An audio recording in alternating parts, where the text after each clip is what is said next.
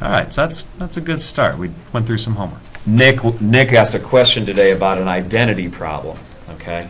And if you take a look at the Table of contents of our book, here, let me jump to it. Um, Right here. So, section three, we just finished. Section four is on trigonometric identities, okay? I can also tell you this. Section four, in my opinion, is a big, tough section.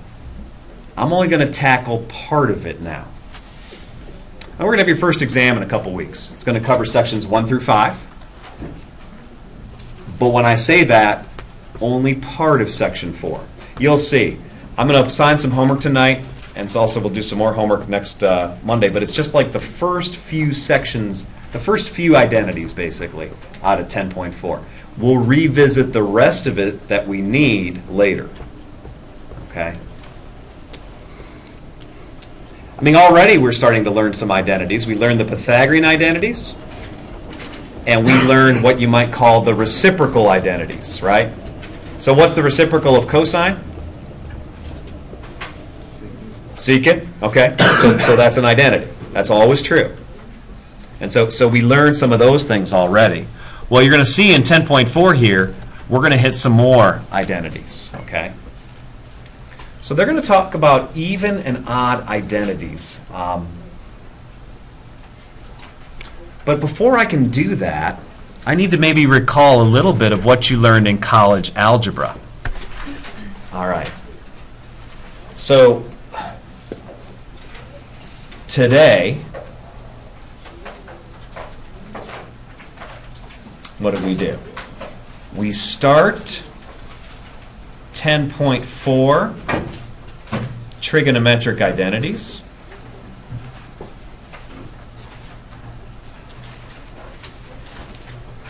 And 10.5 graphs of the trig functions. But I have to take it slow. I mean, there's a lot in these sections. And when to say we're going to start graphing the trig functions, there's six of them. I don't want to do that. I just want to stick stick with the sine and cosine, like I like I did when I started the unit circle. Okay. So today, let's talk about y equals the sine of t and y equals the cosine of t. Okay. And I think if I start by talking about the graphs and then move back to the identities, I think you'll understand what I'm what I'm doing. Now, this is maybe a little different notation than we've had. First of all, what have I usually been putting after the sine or the cosine? What letter have I usually been using? Theta. Okay? I'm going to use t for now. And the idea is if I want to graph y equals sine of t, well, what you have, you guys have to understand the idea here is function. I'd like to pause and I want you to spend 30 seconds talking to the person next to you about what you've learned so far about functions. You guys in college algebra last semester, that's all you studied. But I want to get some of it out in the open, so I'm pausing and you can say hello to who's next to you and talk about that for 30 seconds. I mean, a lot of times we don't write functions this way. What we'll write instead is something like f of t is the sine of t. That's another way of writing y equals sine of t, right? Let me ask this. Which number, which variable up here stands for the input, the number that I'm going to put into the function? And it's very clear when it's written that way, right? t is your input, y here, or f of t, whichever I'm using, would be the output. Input and output is a basic concept. You, you want to know why we study functions? Because we use computers all the time. We give them input, they give us output. You guys with me? So when I go ahead and graph a function, I put the input where? Well, along the horizontal axis. Usually that's the x-axis, right? If I'm calling it t, well, that's fine. And then I could call this f of t. That would be the y. So I could graph f of t is the sine of t. Now there's a real reason that I might want to graph it this way with these letters. Because remember what I did earlier. I drew a unit circle, right? And in the unit circle, you're already kind of using x and y, right? We had an x-axis and a y-axis. So if I'm already using that, then maybe I change the letters. You guys with me? Now, t is taking the place of theta. Remember, theta was how far you rotate. So if I rotate, if suppose theta is pi over 4, that's the same as what, by the way? 45 degrees. 45. And so that's the radical 2 over 2, radical 2 over 2. Right? So what we can do is we can move along the t-axis a certain amount. We move out to whatever pi over 4 is. That's the input for the function. So f of pi over 4 would equal, well, the sine of pi over 4, right? And we just said that's radical 2 over 2. So the output, now how big is the radical 2 over 2? Well, I have a calculator. Here. Oh, not there, I don't. Where'd it go? Here it is. So if I type in square root of 2 divided by 2, enter. That's about 0.7, right? So I don't know. If I mark that this is, say, 1, and say this is negative 1, then my output would be, well, 0.7, so partway up there. There's the point. And that point would be pi over 4, comma, radical 2 over 2. You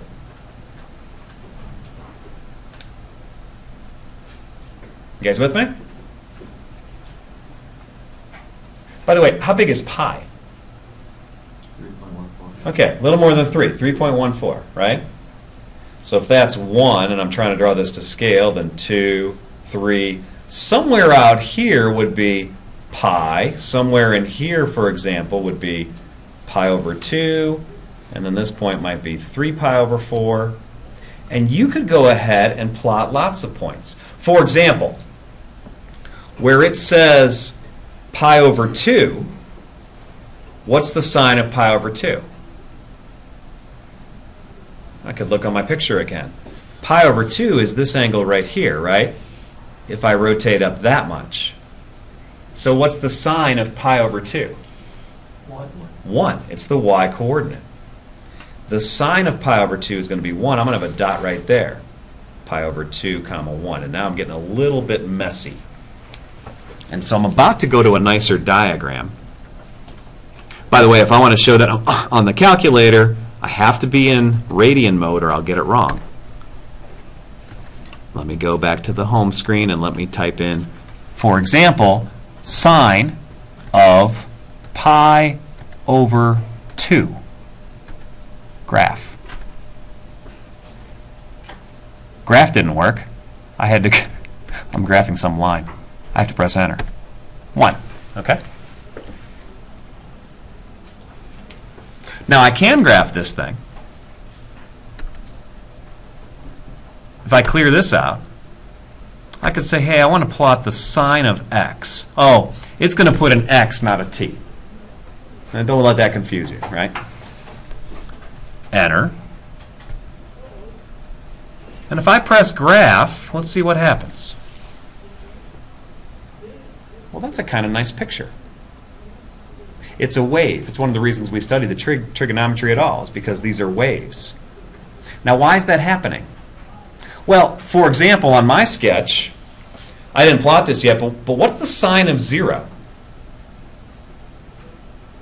Well, look at a zero degree angle. What's the sine? It's the y coordinate. So what is it? Zero. Zero. So the sine of zero is zero. But notice, if instead we look at the sine of pi, the sine of pi, well, that's the point negative 1, 0, and so the sine of pi is also 0. You see that? So the sine function goes as high as 1, and then it goes back down to 0. You with me? And as I continue rotating around the circle, what's going to be true about all those sine values is they're all going to be negative. And what's the lowest sine value you'll ever get? Negative one. Negative 1. So the wave continues. And actually, where would that be? When do you get to negative 1? Well, that's down here. Let's see. Pi over 2, pi. When I plug in 3 pi over 2, right, the output is negative 1. And then it comes back up to 0 when I get to 2 pi. And like I said, I'm getting sloppy now. There's things I can do with the calculator that can help. If I hit my zoom button, you can change the window. And if you notice choice number seven, this is going to be real helpful tonight on the homework. Zoom trig. If I press enter on that, it draws a zoomed in picture. But what it does, if you hit the window, it's kind of interesting. See that X min and X max? Negative 6.15? Why is it doing that?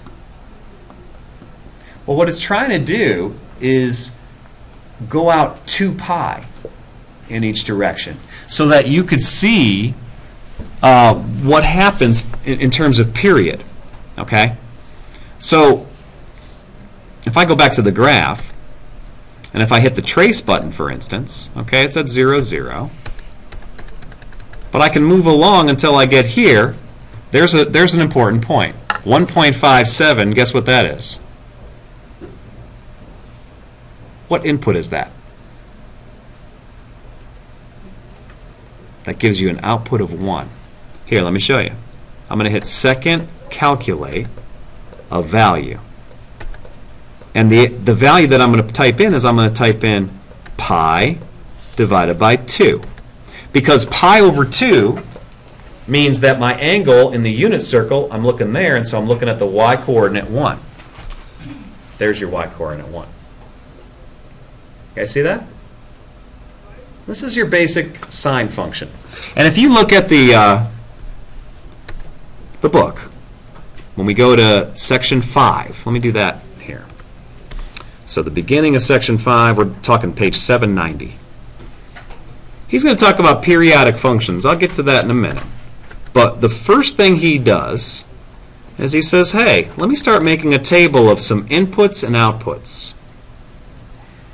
And so he does pi over 4, he does pi over 2. He's getting, by the way, this is not the sine function. Which one is this? This is cosine. Let me show you sine. Here's sine. That's the, that's the curve I was just graphing. You guys see it? Now it goes on forever. If you take a look down just a little bit lower, here's the sine function that I was just graphing on the calculator. But he's just showing you what he calls one fundamental cycle. Why, why does the pattern repeat over and over? Because it's the same as going around and around what? The unit circle. You guys see that? Okay. Now, there's some ideas. I asked you guys to talk a little bit because I was hoping some of these ideas might come up. Here's a statement in a gray box that they want us to know. There's some words domain and range. You guys remember doing that? Well, what are they? Let me define them because I'm not going to assume anything here. So we talk about domain and we talk about range of these functions, okay? So domain is always the set of all possible inputs. And the range is the set of all possible outputs.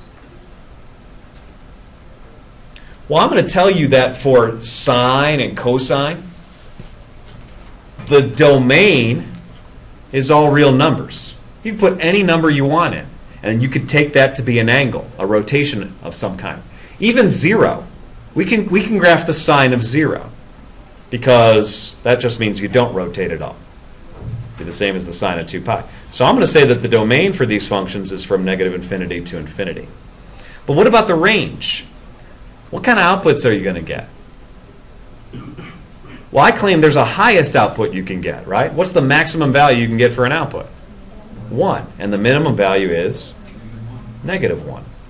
And so you'll notice that the range of these functions is this. See what else he says? It's continuous and smooth. Well, that means it's a nice roller coaster ride. Actually, it means more, but you need calculus for me to say much more. Continuous, the basic idea is that I could draw it without picking up my pencil. And smooth means I don't have any sharp points anywhere. Okay? But I can't prove that stuff until I get to uh, calculus class. Um, it says, now here's the one that's different. So far, everything's the same. The, the one thing that it says is different, it says that cosine is even and sine is odd. And I want to talk about what that means. But let me point out the one that's the same. It says that it has period 2 pi. What that means is that's how far you have to move before it starts repeating. When you look at the one we did, remember we got back to zero when we hit the pi. And then we went through the negative values and we get back to zero once you come around to 2 pi. But now if you want to find the sine of 3 pi, well, you'd keep rotating. You're going to go back through the positive values. Does that make sense? And so the period right here, this is the period. And that equals 2 pi. Okay? All right. Even and odd. That I should remind you guys of. Okay? So here's your definition. A function is even if f of negative x is equal to f of x. So my favorite example of an even function, let me give you an examples.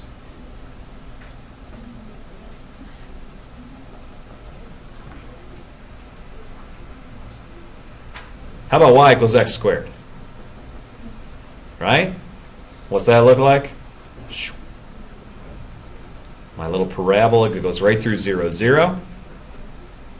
And for example, if you plug in 2, what's the output? 4. And if you plug in negative 2, what's the output? Isn't it true that f of negative x is equal to f of x? Absolutely. By the way, an even function will also have symmetry. It will be symmetric about, what am I going to say here? That parabola. Yeah, the y-axis, good. So if you spin it around the y-axis, it looks exactly the same. Now I'm going to say another definition over here. A function is odd if, do you guys know this one? f of negative x equals, well, how about an example of an odd function? y equals x cubed is a nice example of an odd function. What was that? Negative, yeah, f of negative x has to be negative f of x. Uh, let me show this example more in depth Do you guys know what y equals x cubed, the graph looks like? Some don't. Show me with your hands, those that do. I'll show you with my calculator in the meantime. I mean, you're right. Here, if I go y equals, and let me just do x cubed. And let me change the zoom out of trig. Let me just go back to the standard zoom, choice 6, and graph it. It looks like that. You guys with me?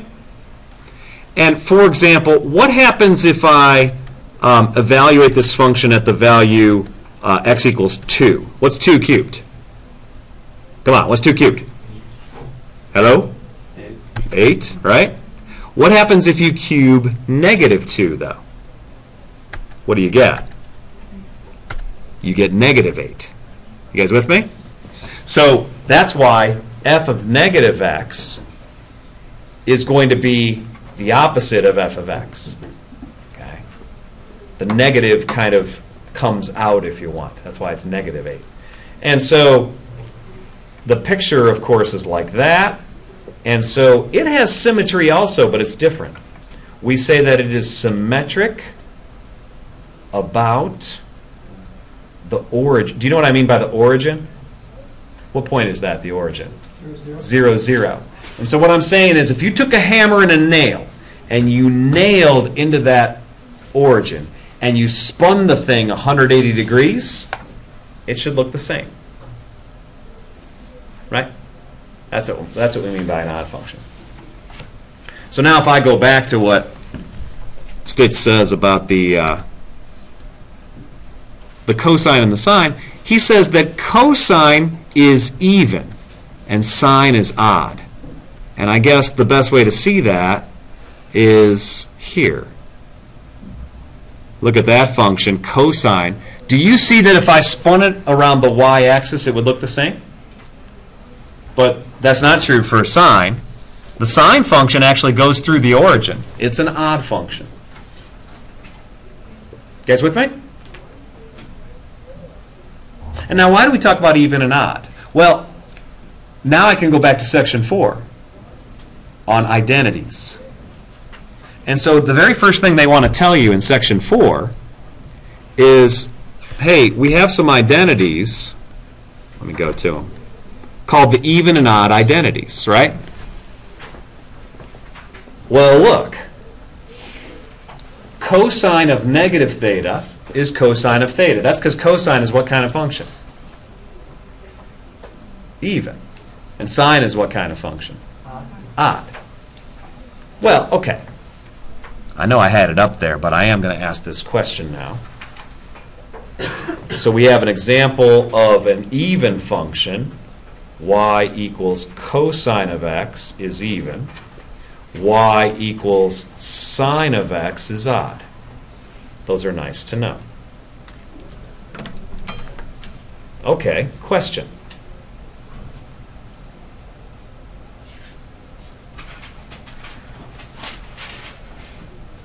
What about this function? f of x equals tangent of x. Is that one going to be even or odd? Or neither? There's also the possibility that might be neither. Well, the way to test, I mean, you could graph it, that helps. But the best way to test if it's even or odd is we want to look at f of negative x. Okay? So watch how this works. f of negative x. Well, that means we have the tangent of negative x. Okay? And I'm going to say that I know what tangent of negative x means. It means sine of negative x over what? Cosine. Sine over cosine. Cosine of negative x. So that's just what the definition of tangent is. It's sine over cosine. All right, dudes. Cosine of negative x, that denominator. What do I know about cosine? Cosine is what kind of function? Even. Even. So I claim I can take that denominator, and where it used to say cosine of negative x, since it's even, we could just write cosine of x. Because that's, that's what it means to be even. Now for sine, that's not true. Where it used to say sine of negative x, sine is an odd function. So what can I write in the numerator? Negative sine of x. And again, what am I doing here? I'm using the fact that sine is odd.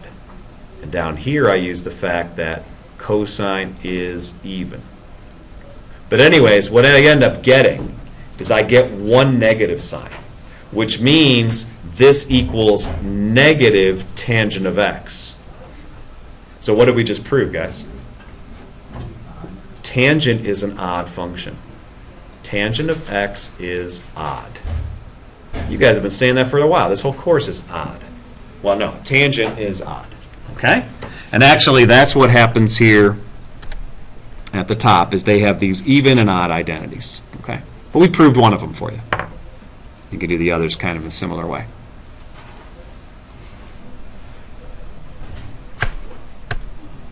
Moving on. Oh, the song. There's a bunch of gray boxes here, and by the end of this course, you're going to know almost everything in every gray box. It's hard to believe. But I'm sure not going to teach it the way he does. Well, actually, if you. Oh, this is funny. I, I'm just going to spend 20 seconds on this. Here's a few identities that you're about to learn. All right? Here's the proof of why they work. It's actually beautiful that he does this. A lot of books don't. They're just kind of like, oh, here's identities. Good luck. Now, he shows you. He's using something from college algebra called the distance formula. Raise your hand if you've heard of that before. Thank you. What's the distance formula? Square root of something. Square root of, I just know it as a square root. Come on, you know more than that. What do you know? x1 Square root of x squared plus y squared. Yeah, x squared plus y squared, right? That's the Pythagorean theorem, really. And then what you do with those x's is you say x1 minus x2 and y1 minus y2 or something like that because you have two points. That's what he's doing. Except instead of putting x's, what's he putting? Cosines. And instead of putting y's, what's he putting? All right, so he does a whole lot of work. And by the way, anytime that he sees a sine squared plus a cosine squared, what does sine squared plus cosine squared equal? One. Oh, that's one of my new identities, yeah. He's going to use that a lot, and he's going to do a whole lot of work. But I'm done. That's all I'm doing with that. I am moving on, and it's time to sing. So I'm telling you that in a matter of moments, I'll have us knowing those identities right there called the sum and difference identities with a little song. So let's move on. And uh, let's pause for the time being. So I'm in section 10.4 identities again, and I'm going to cover what are called the double angle formulas, right?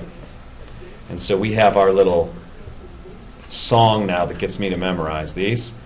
But what my question was just recently, I asked you guys, can you give me the formula for cosine of alpha minus beta? And so you guys would say cosine, cosine, sine, sine, right? And you'd say cosine of alpha, cosine of beta, what would you put here? Plus. Plus sine of alpha, sine of beta. Okay. And actually, one thing you might be asking, we've been having fun, but why? Why would we ever want to do this? Well, just on the quiz the other day, um, do I have it? Yeah, I do. Remember I asked you guys to find, convert these to degrees, and so you guys took 5 pi over 12, right? And you changed it to degrees. How many degrees did it end up being? Seventy-five. 75 degrees? Okay. One thing I could have asked you guys is this Hey, find me the cosine of 5 pi over 12. Well, you might be out of luck. Because you didn't have your calculator, for one. And number two, um, 75 degrees isn't one of the nice angles, right? But with the double angle formula, you can do some really cool things. So, for example, suppose I want to find the sine of 75 degrees. Okay?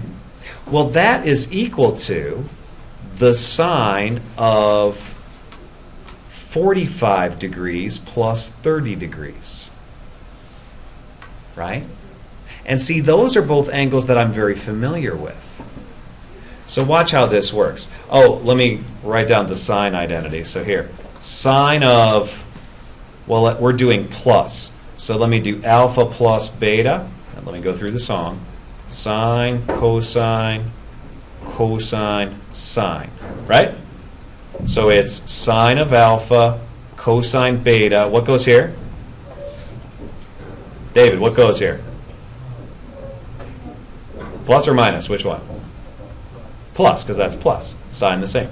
Cosine of alpha, sine beta, right? And so I'm going to use that formula in my example here. I'm going to use that black formula. Everywhere it says alpha, what am I going to put? You guys see? What's 45 degrees is taking the place of alpha. So I'll write sine of 45. I'll write cosine of 30, okay? Plus cosine of 45, sine of 30. And these are all degrees, right? And here's where, oh yeah, that unit circle might actually really help. You know, that quiz that we did over here. But let me work it out for you. So sine of 45 degrees is the square root of 2 over 2. 30 degrees, what's the cosine of 30 degrees? Isn't it square root of 3 over 2? You could check that on the unit circle if you don't believe me. What's the cosine of 45 degrees? Square root of two over two. Square root of 2 over 2.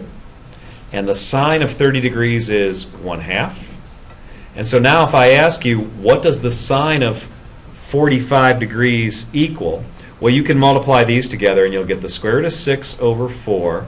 And if you multiply these together, you'll get the square root of 2 over 4.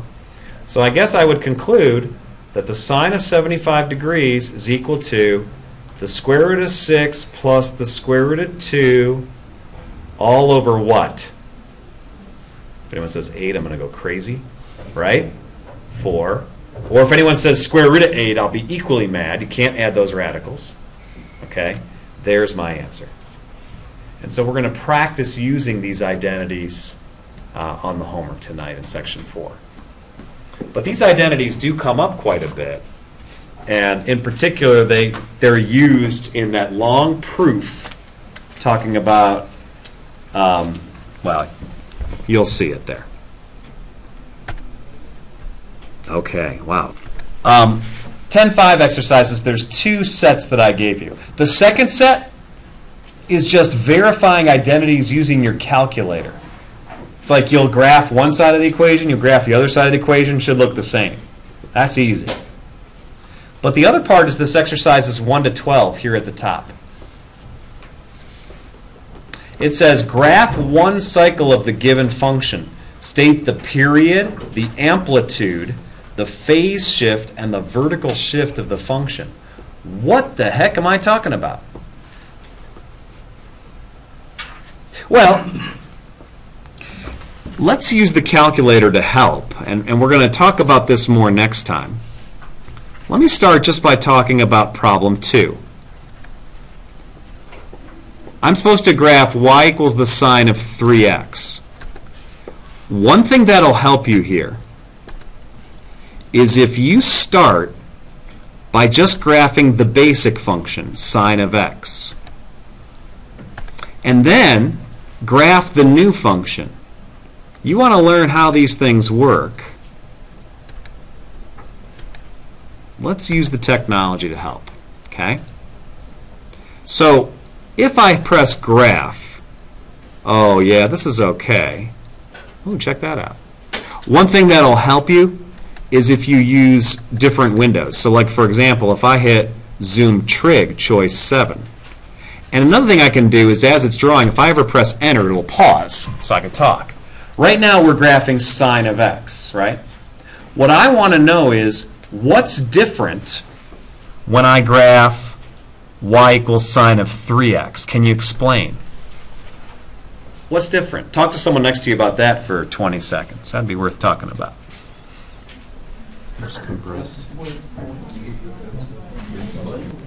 I heard some absolutely great things said during that 20 seconds. Some people said it was squished. I heard someone mention the word frequency. It's a different frequency, and you are absolutely right. It's someone talked about the period changing. The period is how quickly it repeats. This one repeats more often. This one repeats sooner. The period is smaller here. Okay? By the way, normally the period of the sine function we said was 2 pi. The period of this function in number 2 would be 2 pi divided by 3. Okay? Now, there's a lot more to this. You're going to need to use your book when you work on these exercises. Oh, here's a picture of what's called amplitude. Amplitude is kind of the distance from the center line to the maximum value. What's the amplitude of the sine function usually? 1. Okay. If I just move down a little bit, this, by the way, this is on your in your book. You might want to mark down page 795. They give you the sine and cosine functions, and they throw all kinds of letters in there. And they say, hey, if you want to figure out what the period is, or the amplitude, or the phase shift, or the vertical shift, and, and you can do it this way. I'll just finish in my last minute by showing you how I would do problem two with this little gray box. Oh, I had it and I lost it. I'll see if it comes back. So I would write y equals the sine of 3x. Is that what it was? Okay. So I'm looking at that picture and I'm looking at here and I'm looking at s of x up in the in the box. And I'm saying the only thing that I think we changed was omega, that little looks like a W, is 3. And that's why, what's my period going to be? Well, look at the gray box. It says it's 2 pi over omega. That's why I said it was 2 pi over 3. But the amplitude is still 1 because you didn't put anything in front of the sine. And, and the one last thing I'll talk to you about is that those of you that took college algebra with us, section 1.7 is on transformations, and that's exactly what we're going to do with these trig functions is transform them. So if you studied that and got familiar with that, that's exactly what's going on here. Nice work today, guys. It was a good class. We're at 1045. Uh, I am free today for a little bit. Um,